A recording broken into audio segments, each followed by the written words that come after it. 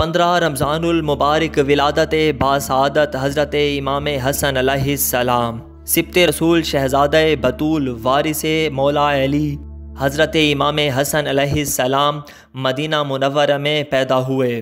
جب امام حسن علیہ السلام کی ولادت ہوئی اور آپ سرور کائنات کی خدمت میں لائے گئے، تو رسول کریم صلی اللہ تعالیٰ علیہ وآلہ وسلم بے انتہا خوش ہوئے اور ان کے دہن مبارک میں اپنی زبان اقدس دے دی۔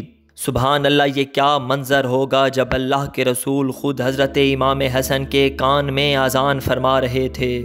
آپ کی کنیت ابو محمد تھی، جبکہ آپ کے القابات بہت کثیر ہیں، جن میں طیب تکی سبت اور سید زیادہ مشہور ہیں۔ ایک روایت کے مطابق، سید کا لقب خود سرور کائنات صلی اللہ تعالیٰ علیہ وآلہ وسلم کا عطا کردہ ہے۔ مولا امام حسن علیہ السلام کی مشابہت حضور پاک صلی اللہ تعالیٰ علیہ وآلہ وسلم سے بہت ملتی تھی۔ آپ کی اتنی شان ہے جو کہ اس مختصر وقت کی ویڈیو میں بیان کرنا ممکن نہیں ہے۔ آپ علیہ السلام سے متعلق کئی احادیث بھی موجود ہیں۔ حدیث مبارکہ میں آتا ہے حسن اور حسین جنت کے جوانوں کے سردار ہیں۔ ایک دن امام حسن علیہ السلام اپنے نانا کی پشت مبارک پر سوار تھے کہ ایک صحابی نے کہا، واہ، کیا خوب سواری ہے۔ پیغمبر صلی اللہ تعالیٰ علیہ وآلہ وسلم نے فرمایا، بلکہ کیا خوب سوار ہیں۔ ایک حدیث پاک میں ہے کہ حضور صلی اللہ تعالیٰ علیہ وآلہ وسلم نے فرمایا، میں حسنین کو دوست رکھتا ہوں، جو انہیں دوست رکھے، اسے بھی قدر کی نگاہ سے دیکھتا ہوں۔ ایک صحابی بیان فرماتے ہیں کہ میں نے رسول کریم صلی اللہ تعالیٰ علیہ وآلہ وسلم کو اس حال میں دیکھا کہ وہ ایک کندھے پر امام حسن کو اور ایک کندھے پر امام حسین کو بٹھائے ہوئے جا رہے ہیں اور باری باری دونوں کا منہ چومتے جاتے ہیں۔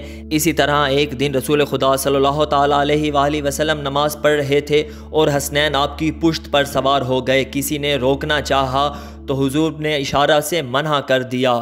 ایک صحابی نے کیا خوبصورت اشاد فرمایا، فرماتے ہیں، میں اس دن سے امام حسن کو بہت زیادہ دوست رکھنے لگا ہوں، جس دن میں نے رسول خدا کی آغوش میں بیٹھ کر انہیں داڑھی مبارک سے کھیلتے دیکھا۔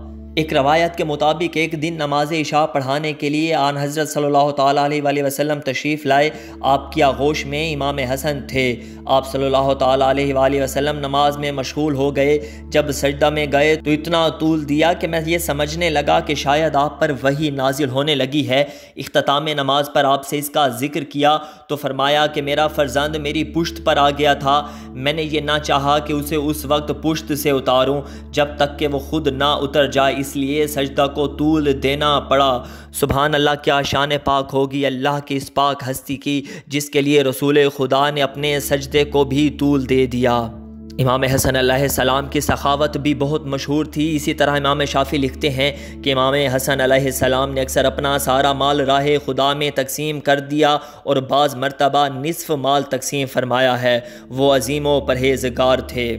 ایک مرتبہ آپ نے ایک سائل کو خدا سے دعا کرتے دیکھا خدایا مجھے دس ہزار درہم عطا فرما۔ آپ نے گھر پہنچ کر مطلوبہ رقم بھجوا دی۔ آپ سے کسی نے پوچھا کہ آپ تو فاقہ کرتے ہیں، لیکن سائل کو محروم واپس نہیں فرماتے۔ ارشاد فرمایا کہ میں خدا سے مانگنے والا ہوں۔ اس نے مجھے دینے کی عادت ڈال رکھی ہے اور میں نے لوگوں کو دینے کی عادت ڈال رکھی ہے۔ میں ڈرتا ہوں کہ اگر اپنی عادت بدل دوں تو کہیں خدا بھی اپنی عادت نہ بدل دے اور مجھے محروم کر دے۔